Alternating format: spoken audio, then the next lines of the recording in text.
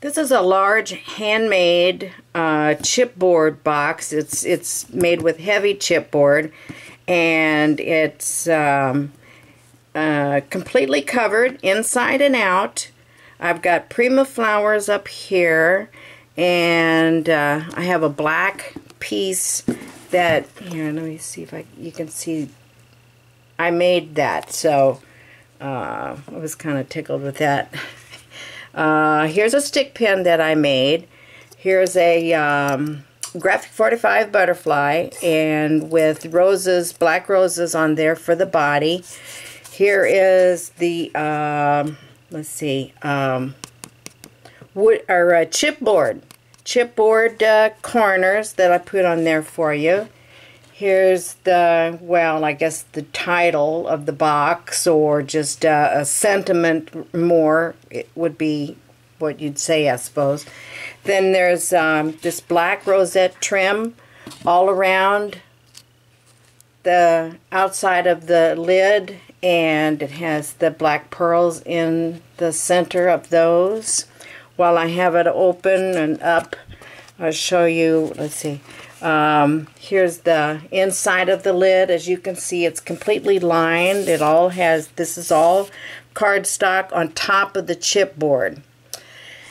Then the top there like I said of course is lined and um, show you these pretty flowers. They're uh, I really like those colors. And uh, this goes so well with, with that particular um, shade, I think. So there's the top. The inside is uh, completely lined also. And the outside is lined.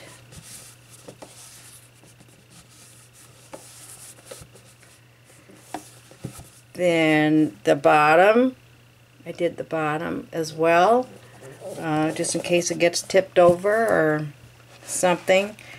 This, I'm going to have to measure because I have forgotten. This is, oh, okay, it's, yeah, six by six. It's a little over six by six, actually. It's like six and a uh, even six and an eighth by six and an eighth.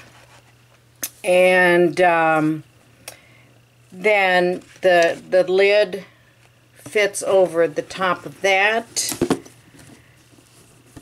So there you are.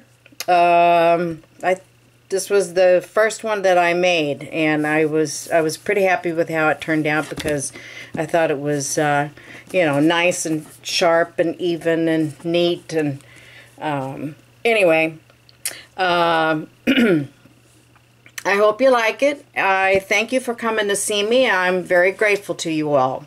Thanks so much. Bye bye